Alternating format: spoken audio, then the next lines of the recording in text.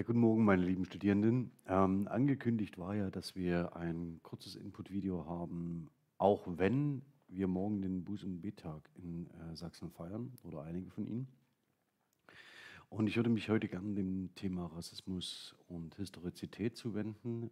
Und zwar deshalb in dieser Begriffspaarung, weil nicht jede Form von Diskriminierung in geschichtlichen Zusammenhängen als Rassismus aufzufassen ist und nicht jede Form, die wir heute als Rassismus bezeichnen, aus einem westeuropäischen Verständnis heraus als Rassismus aufzufassen sei. Das Ganze hat ganz unterschiedliche Gründe, unter anderem auch die, dass wir mit unterschiedlichen Kulturen und mit unterschiedlichen Begriffsverwendungen operieren.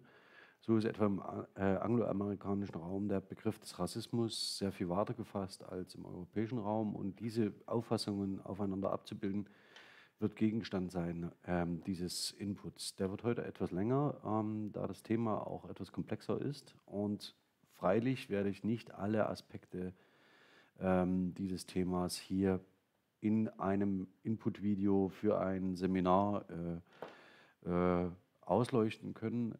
Wie immer gilt, dass ich Ihnen einige Hinweise geben möchte und einige Pflöcke einschlagen werde für die Bearbeitung und für die Auseinandersetzung mit diesem Thema, aber es hier nicht in Gänze für Sie entwickeln kann. Das gilt vor allen Dingen im Hinblick auf die Operationalisierung im Bereich der germanistischen Linguistik, denn hier ist tatsächlich noch viel zu tun. Aber gehen wir mal an das Thema heran. Rasse als Dispositiv der Macht.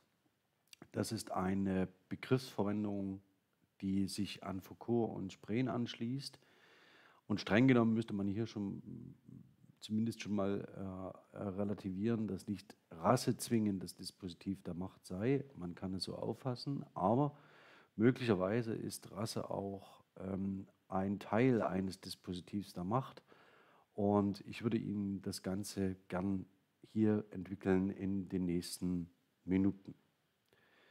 Zunächst beginnen wir mit ähm, einer Wiederaufnahme des Machtbegriffs nach Foucault, nämlich dass es sich hierbei um ein Ensemble von Handlungen äh, handelt, die sich auf mögliches Handeln richten und Macht operiert in einem Feld von Möglichkeiten für das Verhalten handelnder Subjekte. Sie bietet Anreize, verleitet, verführt, erleichtert oder erschwert und so weiter und so fort. Und jedenfalls schränkt sie oder gewährt sie Handlungen. Sie ist auf Handeln gerichtetes Handeln. Voraussetzung dafür, dass sie jemanden unterdrücken können, ist, dass äh, wir ein wahrnehmbares Machtverhältnis und eine wahrnehmbare Machthierarchie haben. Wir können auf der einen Seite Mächtige äh, unterscheiden und beobachten, auf der anderen Seite Ohnmächtige und genau um diesen Zusammenhang wird es mir jetzt im Folgenden gehen. Der Dispositivbegriff bei Foucault ähm, ist interessanterweise innerhalb der germanistischen Linguistik nicht so fruchtbar geworden wie andere Aspekte. Das könnte sich aber ähm, in den nächsten Jahren ändern, vor allen Dingen dann, wenn wir auch multimodale Ensemble, also das heißt Bild und Text und Klang ähm, miteinander verschränken, aber auch ähm, zum Beispiel Architekturen berücksichtigen, die alle zusammen, so heterogen sie sein mögen, ähm, ein Dispositiv abbilden können. Und deswegen hier noch einmal die Definition. Ein Dispositiv ist ein heterogenes Ensemble, das Diskurse, Institutionen, architekturale Einrichtungen reglementieren, Entscheidungen, Gesetze, administrative Maßnahmen, wissenschaftliche Aussagen, philosophische, moralische oder philanthropische Lehrsatz, kurz Gesagtes ebenso wohl wie Ungesagtes umfasst. Kommen wir ähm, deswegen aber, wenn wir von diesem Dispositiv ausgehen, ähm, sofort auf die soziologische Rassismusforschung und ich habe Ihnen hier zwei, drei Ansätze ausgewählt. Die Rassismusdebatte, ähm, Literatur ist unendlich weit und groß. Ich werde mich aber hier einführend äh, auch für Sie äh, als Lesetipp auf Fredrickson ähm, konzentrieren. Und er bestimmt Rass, äh, Rasse und Rassismus so, wollten wir eine knappe Formulierung wagen, so könnten wir sagen, dass Rassismus vorliegt, wenn eine ethnische Gruppe oder ein historisches Kollektiv auf Grundlage von Differenzen, die sie für erblich oder unabänderlich hält, eine andere Gruppe beherrscht, ausschließt oder zu eliminieren sucht. Zentral sind hier die Partizipien beherrscht, ausschließt, äh, beherrschen und ausschließen sowie ähm, äh, der Infinitiv äh, mit zu eliminieren. Also das sind die drei zentralen Mechanismen, die wir nachweisen können und die interessanterweise äh, in einer diskursen Koloniallinguistik sich auch sprachlich nachweisen lassen. Das heißt, wir, wenn wir nach Operationalisierungen von Rassismus suchen, dann suchen wir sprachliche Strukturen, die Ausdruck von Herrschaftsverhältnissen sind, die exkludieren, also ausschließen und schließlich ähm, zu tilgen versuchen, also äh, entweder nicht sichtbar zu machen oder sprachliche Handlungen, die tatsächlich das Eliminieren begleiten. Wichtig ist weiterhin, dass Kultur in einem solchen Maße verdinglicht oder essentialisiert werden kann, dass sie zum funktionalen Äquivalent des Rassenbegriffs wird. Das ist eine Beobachtung, die sich in den letzten Jahren machen lässt, vor allem im Hinblick auf die sogenannte neue Rechte, nämlich dass wir nicht mehr über ethnische ähm, Gruppen oder, äh, oder Kollektive reden, die ausgegrenzt, also die beherrscht ausgegrenzt und eliminiert werden, sondern wir reden über Kulturen und Kulturkreise, denen ähm, bestimmte Eigenschaften zugewiesen werden, das wiederum sprachlich, ähm, die zur Begründung dafür herangezogen werden, dass man diese Gruppen beherrscht, ausschließt oder eliminiert. Daneben haben wir noch eine ganz eine weitere Differenzierung mit sehr interessanten und vor allen Dingen äh, in der soziologischen Rassismusforschung produktiven Dichotomien, nämlich der Unterscheidung zwischen Racism und Racialism, Herrschafts- und Vernichtungsrassismus. Das wird für uns ein, äh, interessant, äh, eine sehr wichtige Dichotomie sein. Äh, und dann zwischen Race, Racism und Racecraft, also das heißt der Differenzierung, sehr genauen Differenzierung, wann und in welchen Situationen wir von Rassismus zu sprechen haben, indem wir unterschiedliche gesellschaftliche Konstrukte uns genauer anschauen. Und um es gleich vorweg zu sagen, es gibt nur eine menschliche Rasse. Alles das, was Sie in diesem Kontext lesen, hören oder nachdenken, ähm, äh, sollte von ihrer inneren Überzeugung her getragen sein, dass es nur eine menschliche Rasse gibt. Sobald irgendetwas anderes in einem Text steht oder Sie irgendetwas anderes hören, ähm, stehen Sie dagegen auf, denn es gibt keine menschlichen Rassen im Plural, es gibt nur eine. Das ist das Perfide daran. Der linguistische Mechanismus, um das gleich mal vorweg zu sagen, um andere Menschen nicht zu Menschen zu machen, ist, sie zunächst zu entmenschlichen und sie dann einer anderen Gruppe ähm, zuzuweisen. Und wenn sie nicht mehr Menschen sind, dann können sie auch andere Rassen sein. Ähm, und diese, dieser Mechanismus äh, ist ein Ausschließungsmechanismus, wie wir den oben bei Fredriksen schon gesehen haben. Und der funktioniert interessanterweise schon seit Jahrhunderten. Also das heißt, die Möglichkeiten der Ausschließung beginnen da, wo sie anderen Menschen Eigenschaften zuweisen, die sie nicht mehr zu Menschen machen. Kommen wir jetzt aber zu einem ganz konkreten Fall und zu Achille Membes Kritik der schwarzen Vernunft, ähm, das ich zur Grundlage nehmen möchte, um hier weiter mit Ihnen äh, über den ähm, Rassen- und Rassismusbegriff nachzudenken. Das Interessante ist, dass er die Figur des Negers und jetzt der zentrale Punkt, ähm, ähm, dass ich rassistische Begriffe äh, in den Slides mit Asterisk ähm, markiere.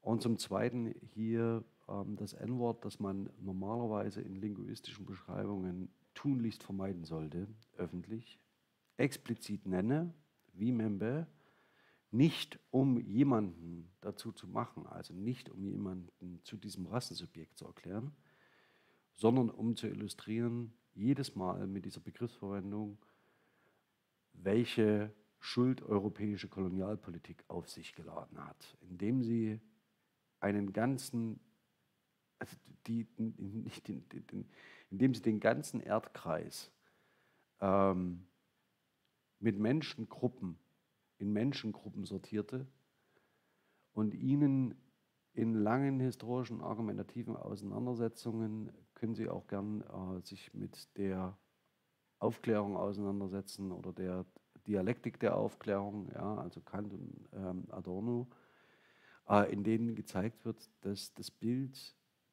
des aufgeklärten Europäers das des weißen aufgeklärten Europäers ist, während alle anderen auf dieser Welt eben nicht weiß, europäisch oder aufgeklärt sind, je nachdem, welches Kriterium sie anschließen möchten.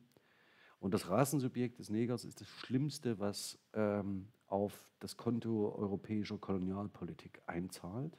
Wenn Sie diesen Begriff verwenden, und so tue ich das hier, dann halten Sie sich selbst den Spiegel vor. Das heißt, dieser Begriff weist nicht auf ein Rassensubjekt, sondern er weist auf unsere europäische Kolonialschuld, die bis heute dauert. Jedenfalls, warum verwendet Membe den Begriff? Ähm, weil er ein kulturhistorisches Konstrukt ist. Und zwar in zweierlei Hinsicht. Er ist vornehmlich Gestalt und Symbol beschränkten Lebens, ist in Animalität und Sinnlichkeit gefangen und hat keinerlei Gestaltungsoption. Er ist ein Rassensubjekt, er ist degeneriert und weist im Vergleich zum weißen aufgeklärten Europäer ontologische Mängel auf. Deswegen, und das ist der Ausgangspunkt von Membe, ist die Kolonisierung zivilisatorisches oder humanitäres Werk. Also man setzt Gewalt ein, um ähm, zu bilden. Die Neger produzieren heißt, ein soziales Band der Unterwerfung und einen Ausbeutungskörper zu produzieren, also einen Körper, der ganz dem Willen eines Herrn unterworfen ist, indem man ein Höchstmaß an Rentabilität abzupressen sucht. Mit anderen Worten, und ähm, das habe ich an anderer Stelle auch dokumentiert, schwarz zu sein bedeutet nicht Neger zu sein. Ähm, denn äh, zu diesem zu werden heißt, dass man durch einen weißen europäischen aufgeklärten äh, Kolonialherrn zu diesem gemacht wird. Und diese Mechanismen sind die interessanten. Nicht die Wahrnehmung von Differenz, sondern wie gelingt es uns mittels eines Begriffs und mittels eines Konzepts, Menschen auszugrenzen, auszuschließen und zu Nichtmenschen zu machen. Und diese Figur ja, ist genau eine solche. Also das heißt, wir konstruieren als EuropäerInnen uns ein Rassensubjekt, ähm, damit wir eine, Sie erinnern sich vielleicht an die letzten Diskussionen, äh, damit wir ein Argumentationstopoi daran anheften können, um uns nicht mehr darüber versichern zu müssen, dass unsere Begründungszusammenhänge richtig sind, also die wir dann als konventionalisiert nicht mehr in Frage stellen. Und Aufgabe von Kolonial- und Postkoloniallinguistik muss es sein, eben solche Prozesse des Selbstverständlichen aufzubrechen und diese auch gesellschaftlich bewusst zu machen. Insofern ist Koloniallinguistik und Diskurslinguistik auch immer politisch. Genau. kommen wir mal auf die Prämissen von Membert zurück. Also die Prämissen sind, der globale Kapitalismus produziert nicht nur Waren, sondern auch Rassen und Spezies. Ihm liegt ein rassistisches Denken, eine schwarze Vernunft zugrunde. Das ist in den, äh, tatsächlich in den äh, Grundlagen äh, kapitalistischen Wirtschaftens begründet. Wenn, Sie, wenn wir über Ausbeutungsverhältnisse reden, müssen wir auch immer jemanden argumentativ zu einem Ausgebeuteten erklären und müssen auch gleichzeitig erklären, warum wir ihn ausbeuten dürfen. Und diese Begründungen bleiben meist implizit und laufen über lange Jahrhunderte. Sein Beispiel ist allerdings das berühmt-berüchtigste. Ähm das Interessante ist, dass für europäisches Denken das Rassensubjekt des Negers wahrscheinlich das Prototypische ist, äh, worauf er hinweist. Und seine Hypothese und sein argumentatives Ziel, darauf will ich heute gar nicht hinaus, ist, dass wir im Neoliberalismus ähm, diese Denkfigur und dieses Konzept auf die gesamte subalterne Menschheit übertragen und wir mehr oder weniger auf einen Rassismus ohne Rassen hinsteuern. Aber äh, darauf müssen wir heute gar nicht hinlaufen. Die Conditia Negra, die er ähm, historisch auffächert, äh, gliedert er in verschiedene äh, historische Stufen. zunächst der Mensch als Ware, Unterwerfung, Entrechtung, Ausbeutung in organisierten Sklavenhandel, 15. bis 19. Jahrhundert. Sie ahnen vielleicht, dass wir jetzt genau auf diese Phase schauen. Menschwerdung im Abolitionismus, das heißt der Sklavenbefreiung oder der Sklavenrechtsbewegung, Forderungen nach dem Status von vollwertigen Subjekten der Menschenwelt. Das heißt, im Abolitionismus haben sich nicht Sklaven befreit, ähm, so wird es genannt, sondern nach Membe wurden sie in diesem Schritt zu Menschen. Also sie äh, haben den Status des Menschseins eingefordert und das gibt dem Ganzen natürlich argumentativ ähm, die richtige Schärfe und äh, glauben Sie mir, wenn Sie Texte von Jamaika lesen, wissen Sie auch, um was es dabei geht. Ähm, in die dritte Stufe, auf die ich heute nicht eingehen möchte, ist der Mensch als Subjekt des Marktes, aber auch das ist eine interessante äh, Denkfigur, die wir im Kontext des Seminars ähm, durchaus weiterverfolgen können. Ja, zum Ausgangspunkt, wenn man von Fredriksen und Membe nochmal zu Foucault zurückkommt, ähm, die Rasse als ein Dispositiv der Disziplin, ähm, Sie wird nämlich diskursiv konstruiert und ist eine Wissensgestalt, die argumentativ entwickelt wird und entsprechend konzeptualisiert wird. Das Ganze läuft im Wesentlichen über folgende Schritte. Also zunächst nimmt man den anderen als Fremden wahr. Das ist noch nicht ungewöhnlich, das machen wir Menschen alle. Nur das Problem ist, wir leben in einer Kultur, in der daraus nicht folgt, dass wir den, der anders ist, töten dürfen, sondern wir versuchen ähm, idealerweise in einer humanitären Kultur, in einer aufgeklärten Kultur auf den anderen zuzugehen, uns auf ihn einzulassen. Und genau dieser Mechanismus setzt im Kontext frühkapitalistischer ähm, Ausbeutungskultur und ähm, christlicher aufgeklärter ähm, Kultur aus. Ich muss nämlich zwei Dinge erklären. Ich muss erklären, warum jemand anders nicht Mensch ist und ich muss vor allen Dingen erklären, warum ich als Christ ihn ausbeuten darf. Dafür muss er ein Nichtmensch sein. Das nächste, ähm, ich muss wie auch immer geartet ähm, eine eigene Superiorität ausstellen, die mich über das andere erhebt. Und die kann auf x-beliebigen Wege begründet werden, biologisch, ästhetisch, moralisch, ethisch, militärisch, rechtlich, ökonomisch, kulturell und so weiter und so fort und so fort. Und die kann tatsächlich gegeben sein, aber sie kann auch nur beansprucht sein Jedenfalls sollte sie von gewisser Dauer, also das heißt unvergänglich sein. Also wir sind immer besser als die anderen auf einem bestimmten ähm, äh, Niveau. Und das rechtfertigt wiederum jetzt, das was jetzt kommt, nämlich, dass wir das eigene schützen müssen. Weil das Fremde könnte in der Summe als Kollektiv ähm, uns bedrohen ähm, das eigene Gefährden. Und deswegen müssen wir vor dem anderen Angst haben und uns vor ihm schützen und entsprechende Präventionsmaßnahmen äh, ergreifen. Sie erinnern sich vielleicht an die Diskussion nach 2015,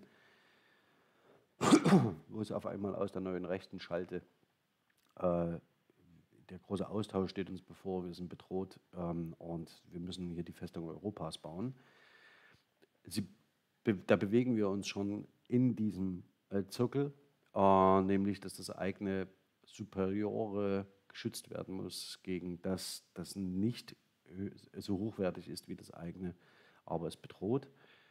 Das, der nächste Schritt ist, dass man Fremdes ausgrenzt, also dass man aufgrund der Bedrohungslage als Präventivmaßnahme das Fremde ausschließt, also Festung Europa.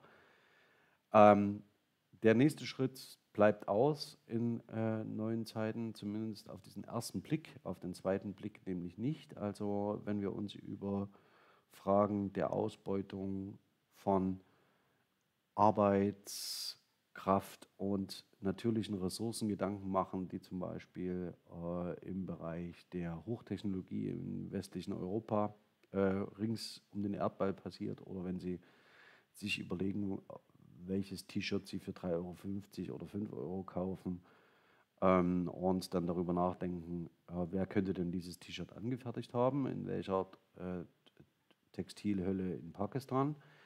Ähm, reden wir über die Ausgrenzung, äh, äh, als, äh, über Ausgrenzung als Ressource. indem wir sie ausbeuten. Und das nächste, der nächste Schritt ist dann die äh, Ausmerzung des Ausgegrenzten. Das heißt, wenn wir uns dazu äh, entschließen, das als bedrohlich wahrgenommene, unsere eigene Superiorität gefährdende nicht nur auszugrenzen, nicht nur auszubeuten, sondern zu vernichten. Sie sehen, ähm, Rassismen auf unserer Welt ist von Rassismen nicht, ähm, äh, nicht frei, denn zumindest die Ausbeutung der Ausgegrenzten als Ressource ist im neoliberalen Kapitalismus leider ähm, und äh, äh, äh gängige Praxis, äh, auch wenn hier natürlich nicht von ähm, äh, Rassismen zu sprechen ist, denn das wäre dem faktisch ausgelagert. Aber kapitalistisches Wirtschaften ist eine der wichtigen Voraussetzungen dafür, dass ich so etwas wie ein Rassismus als diskursives Konstrukt überhaupt entwickeln kann.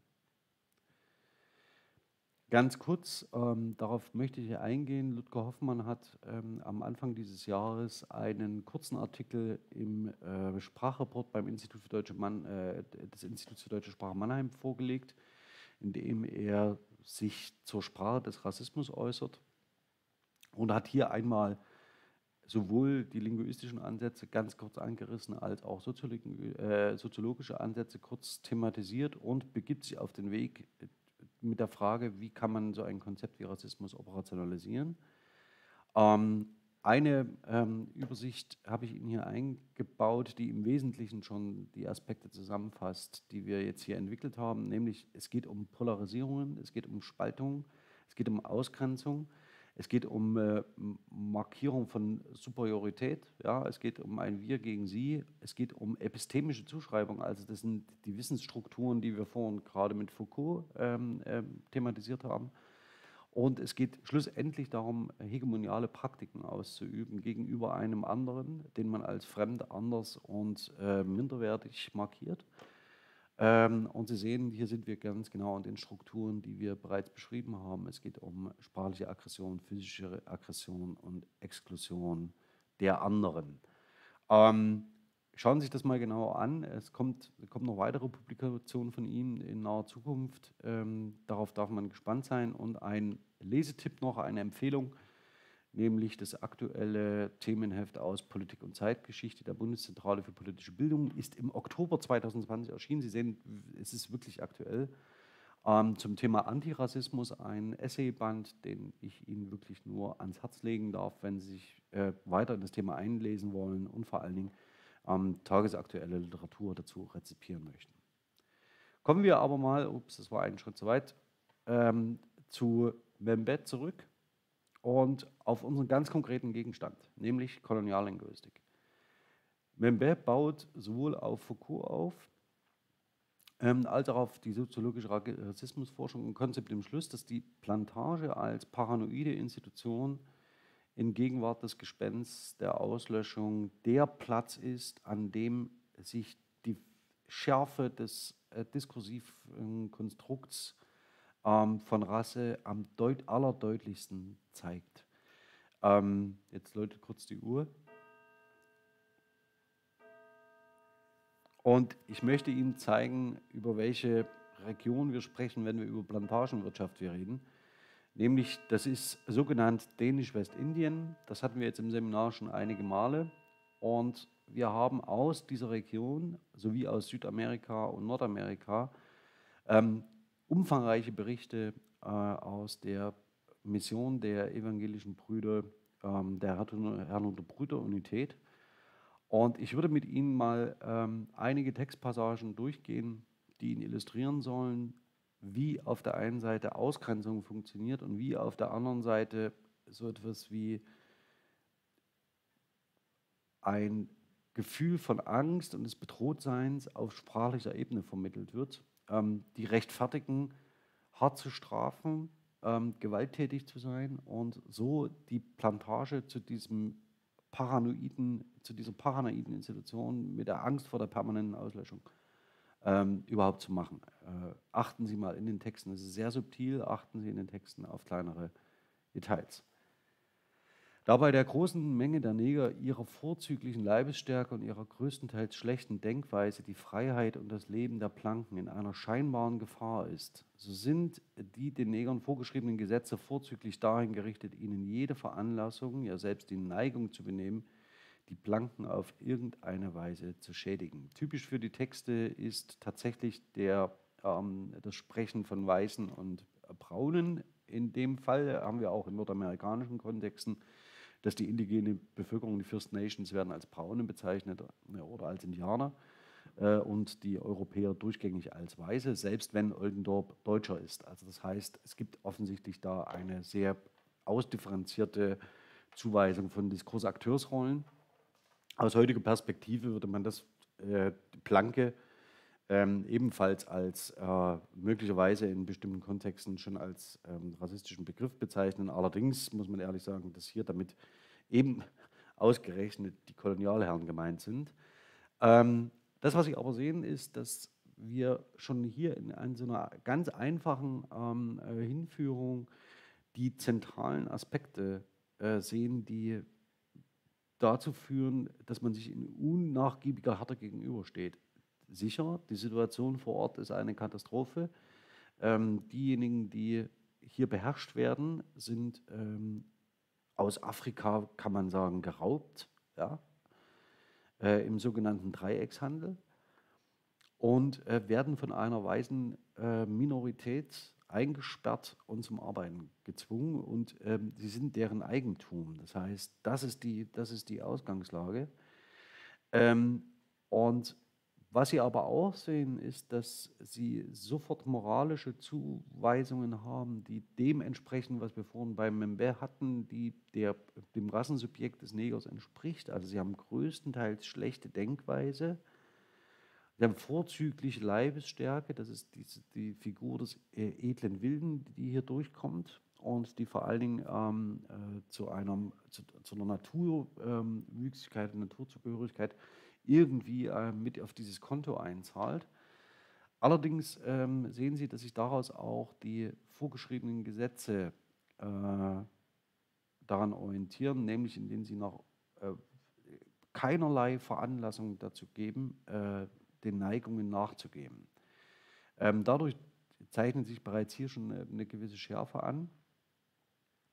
Ähm, und die permanente Bedrohungssituation sehen Sie direkt im Zitat danach. Es ist immer Grund vorhanden, von gezwungenen Sklaven zu vermuten, dass sie auf die Erlangung der Freiheit bedacht sind. Ja, ist es. Und dem wird die ganze Zeit entgegengehalten. Ähm, und das ist die Ausgangssituation ähm, in äh, Dänisch-Westindien. Ich gehe mal weiter.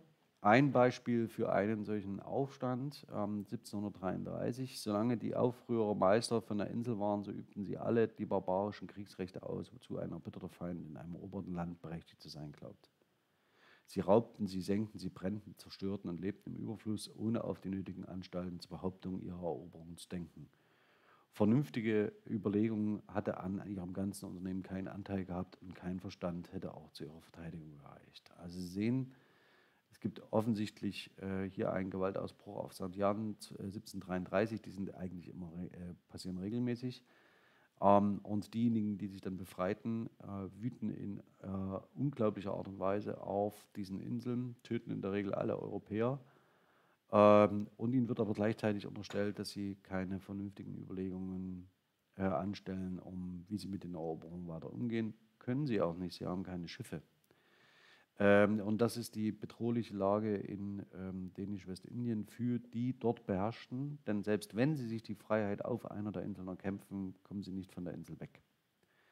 Also eine ausweglose Situation, in der ähm, sich alle dort wähnen äh, und in unnachgiebiger Härte gegenüberstehen. Sie sehen, das Ganze geht in einem fort durch und durch. Ja, der lasterhafte Charakter, ähm, äh, und ihre Menge, genau, das ist das, ist das Entscheidende, also sie sind, sie sind einfach schlicht in der Überzahl. Hat ihnen die Strafen derselben eine Härte gebracht, die mit der Größe ihrer Vergehungen dem Anschein nach nicht immer im gehörigen Verhältnis stehen.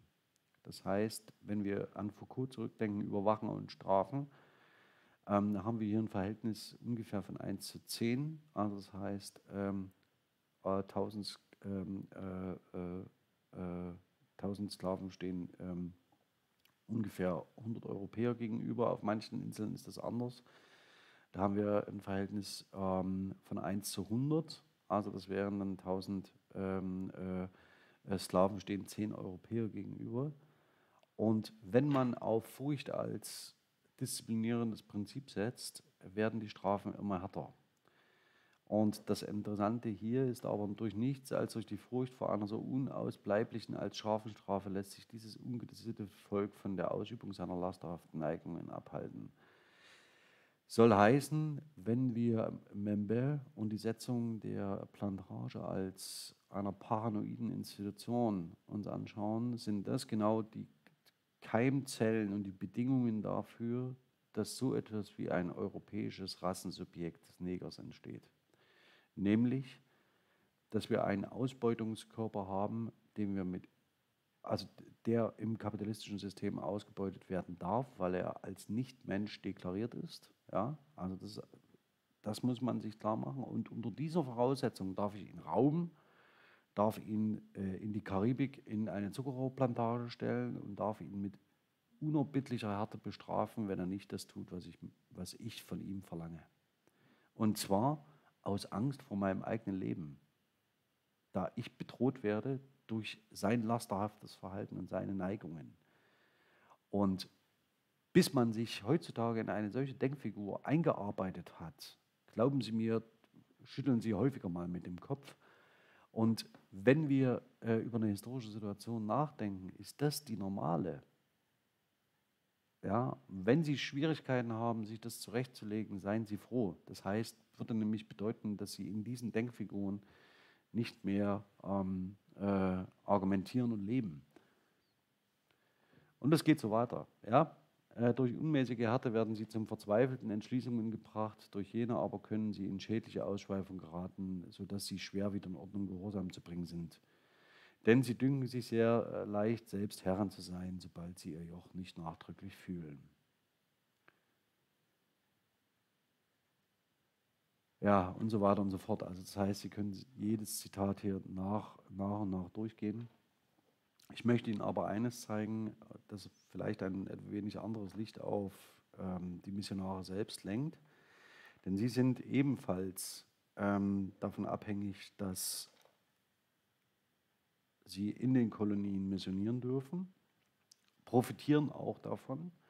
Allerdings ähm, stellen sie selber so etwas wie subversive äh, Elemente dar, denn sie bringen äh, ihren äh, den von ihnen Betreuten vor allen Dingen Lesen und Schreiben bei. Das heißt, sie haben ein sehr gutes Ausbildungssystem und sie ergreifen auch Partei. Zu großer Freude unserer Negergeschwister auf zwei unter einer Verwaltung stehenden Plantagen wurde der Verwalter derselben in diesen Tagen seines Amtes entlassen.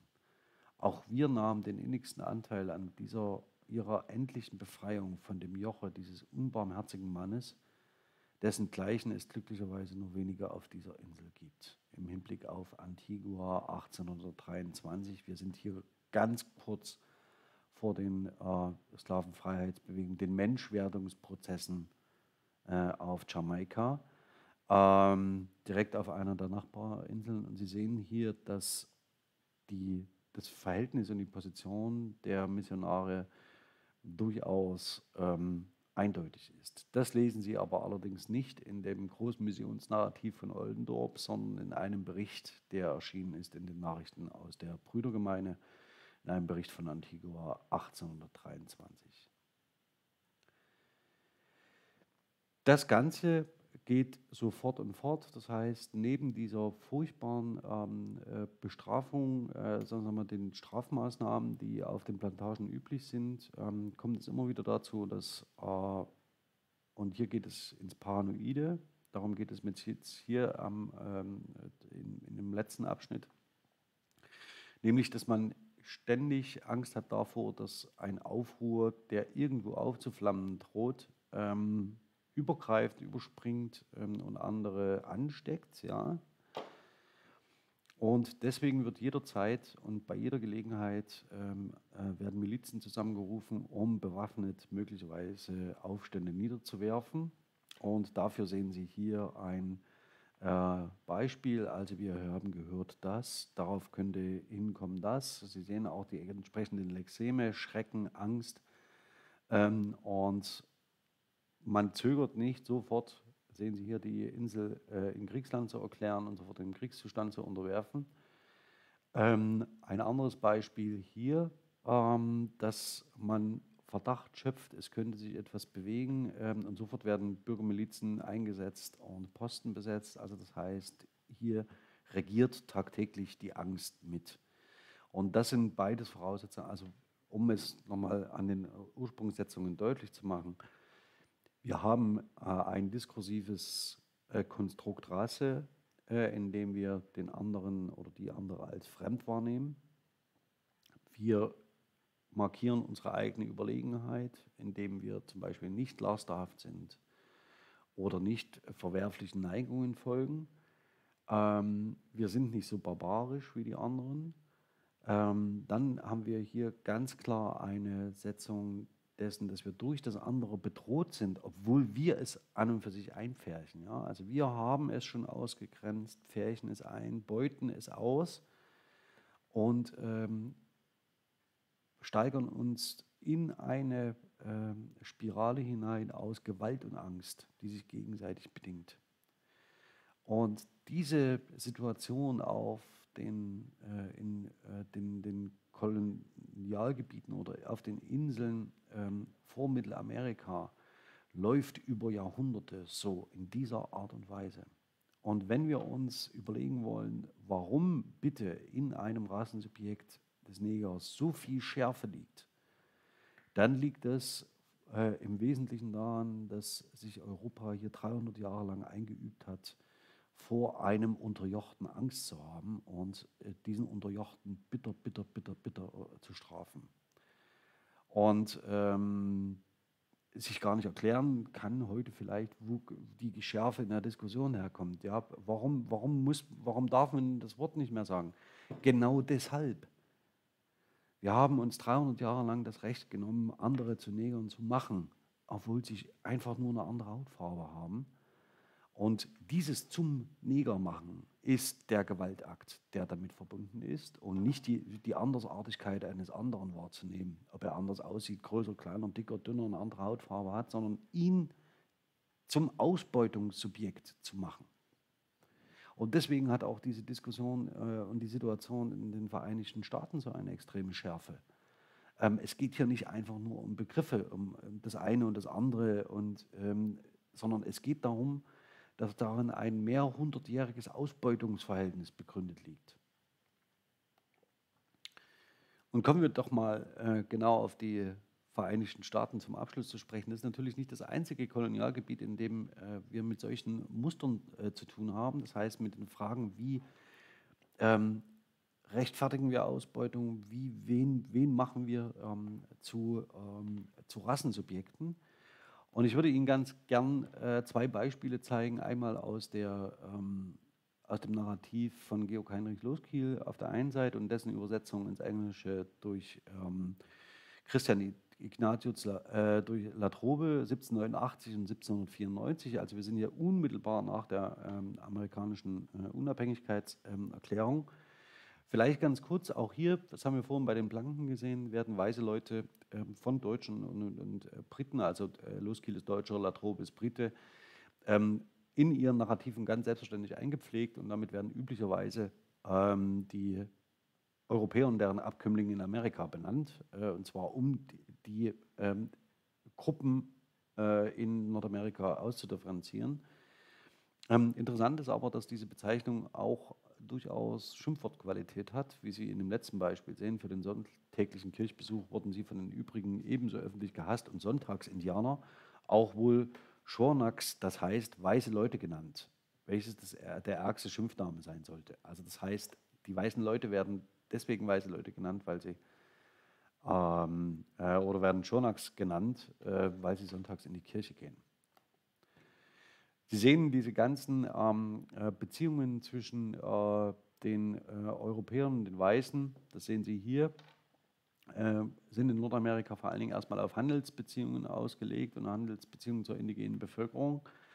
Allerdings ähm, auch mit Krieg und Verdrängung, nämlich dass man zunächst noch die Hoffnung hat, sehen Sie in dem ersten Zitat, dass man friedlich nebeneinander leben kann, ähm, indem man sich gegenseitig unterstützt. Aber es gibt natürlich auch kriegerische äh, Auseinandersetzungen zwischen Weißen und der indigenen Bevölkerung in Nordamerika. Sehen Sie hier an einem Übergriff der, des Stamms der Irokesen, die tatsächlich, muss man sagen, nicht nur gegen Weiße äh, äußerst gewalttätig sind, sondern auch gegen andere Stämme und Nationen der äh, First Nations. Ähm, schlussendlich bleibt aber das Fazit, die Ankunft der Europäer gab also Veranlassung zur Wanderung ganzer Völkerschaften. Tatsächlich ist das die Konsequenz, also die Vertreibung von äh, der, der indigenen Bevölkerung aus ihren Lebensräumen. Man schließt auch gemeinsam Verträge, das überspringe ich jetzt aber, können sich dann äh, genauer durchsehen. Und interessant wird es dann, als wir als ein Teil der, der europäischen Weisen in den Vereinigten Staaten sich aus, den, aus dem Kolonialloch äh, befreit, nämlich der Briten und Franzosen. Ähm, und um diese Gruppen voneinander zu differenzieren, spricht ähm, Lusky ab einem bestimmten Zeitpunkt von Engländern und den Freistaaten, die äh, sich aus der britischen Kolonialmacht, ähm, sich von der äh, britischen Kolonialmacht lösen, befreien konnten. Und von ihnen spricht er dann als den Amerikanern, während sie von den äh, First Nations als Langmesser bezeichnet werden, weil sie Degen tragen. Interessant ist jetzt ähm, aber die Passage, auf die ich jetzt hin will und die schon ein wenig andeutet, warum es ähm, nicht nur zum Beispiel in Westindien äh, zu rassistischen Abgrenzungsversuchen kommen und Ausgrenzungsversuchen, nämlich das Fett, der fettgedruckte äh, Teil in der Mitte dieses Zitats äh, im Kontext des sogenannten Zweiten Gnadenhütten-Massakers. Dieses menschliche Betragen der Regierung in Pittsburgh, die ist britisch, verdross diejenigen Amerikaner, von welchen schon mehrmals angezeigt worden, dass sie Amerika für das gelobte Land und die Indianer für Kananiter hielten, die schlechterdings ausgerottet werden müssen wenn man so will, ähm, reden wir hier über einen Genozid. Und das, was dem zugrunde liegt, ist eine behauptete Superiorität aufgrund christlicher Kultur. Das sehen Sie nicht nur an der Metapher, die äh, äh, ange, gedeutet wird, nämlich über die Kanaaniter. Das heißt, ähm, das ist eine, äh, beruft sich auf Erzählungen ähm, aus der Bibel. Sehen Sie mit dem Hinweis auf das gelobte Land, ähm, das Israel in der biblischen Vorlage ist. Und Sie selbst als äh, Christen, das werden Sie gleich noch sehen, äh, nehmen für sich in Anspruch, dass es Ihnen gehöre, und zwar aus Gottes Wille. Und diese ähm, dieses diskursive Konstrukt, das hier aufgezeigt wird und das hier zwischen den Scha äh, Zeilen nicht nur durchschimmert, läuft auf einen Ausbeutungs- und Vernichtungsrassismus hinaus. Das ist der Deutschtext. Jetzt zeige ich Ihnen im Vergleich dazu noch den englischen. Jetzt mal hier direkt nebeneinander gesetzt von der Trobe 1794. Hier geht es nicht mehr, wenn Sie ein bisschen weiter runtergehen, hier geht es nicht mehr nur einfach darum, dass äh, Sie ohne Gnade, also vielleicht lese ich das mal vor, represented the Indians as Canaanites who without mercy ought to be destroyed from the face of the earth. Also das heißt, die aus zerstört werden müssen und vom Gesicht, Angesicht der Erde gewischt werden müssen. And considered, ohne Gnade, ohne Gnade and considered America as the land of the promise given to the Christians. Hier haben wir diese ganz typische kulturelle Überhöhung, die einen Vernichtungsrassismus begründet.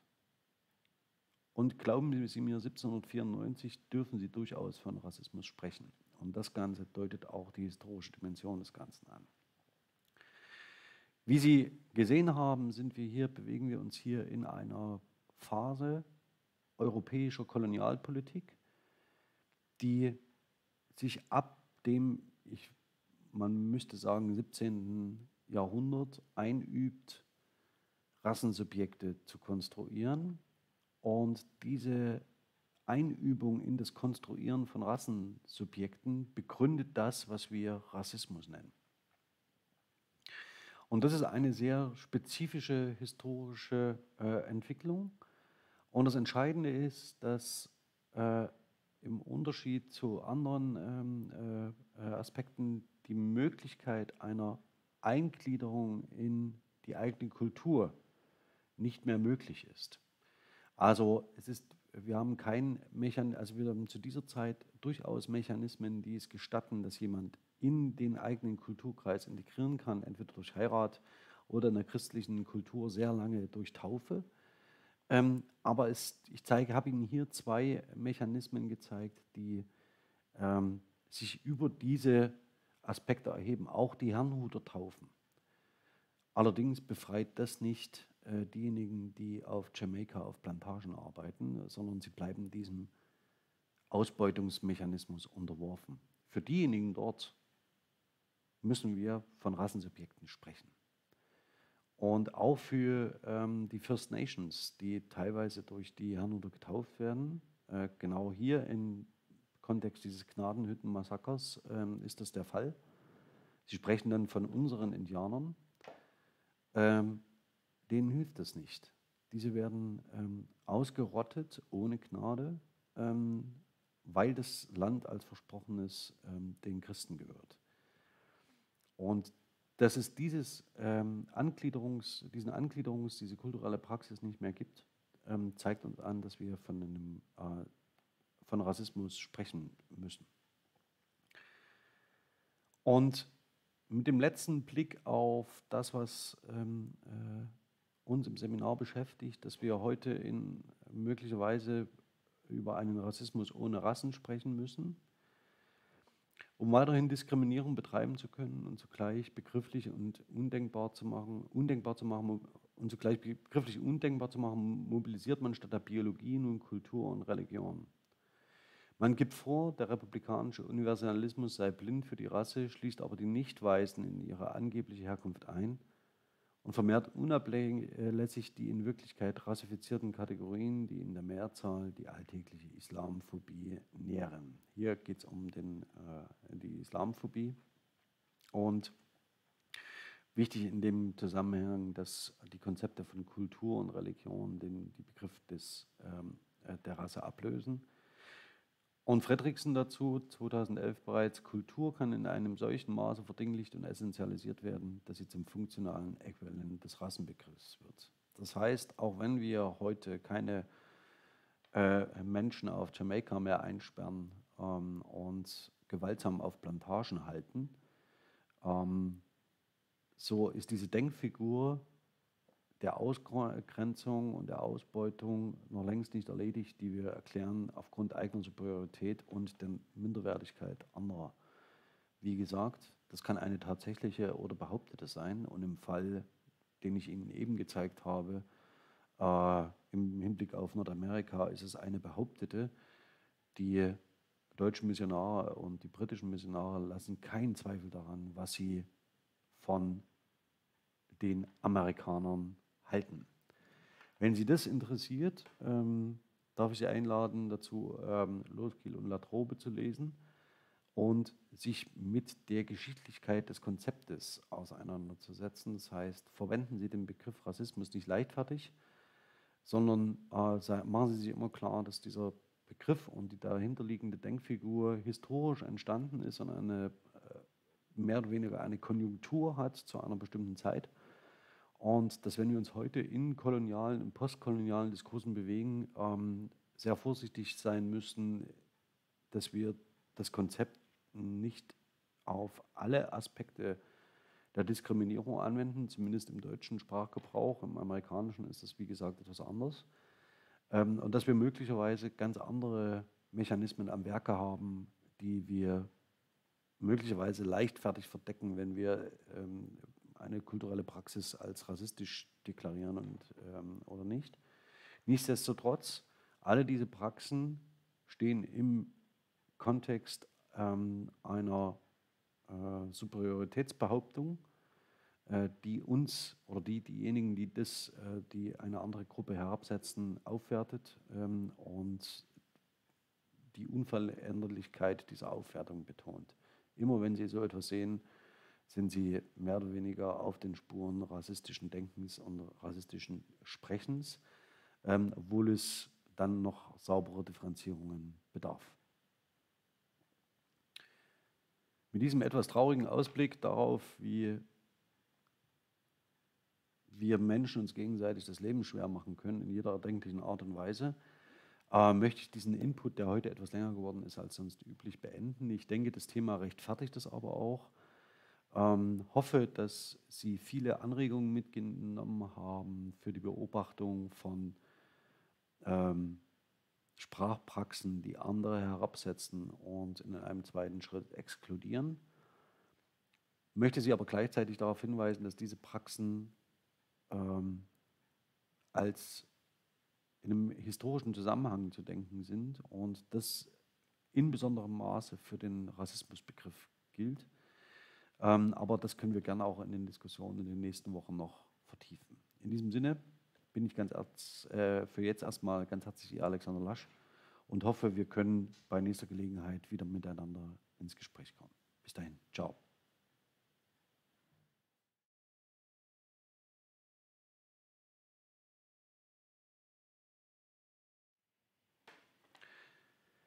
Links von mir sehen Sie jetzt äh, den Hinweis auf die Videoreihe für dieses Seminar, die Inputreihe, falls Sie das Video auf einem anderen Wege gefunden haben. Darunter noch ein anderes aus dem Portfolio. Wenn Sie mögen, ähm, dann lassen Sie ein Like da oder kommentieren. Ähm, besonders im Hinblick darauf, dass wir Open Educational Resources nach vorn spülen. In diesem Sinne, auf bald. Ich bin raus. Ciao.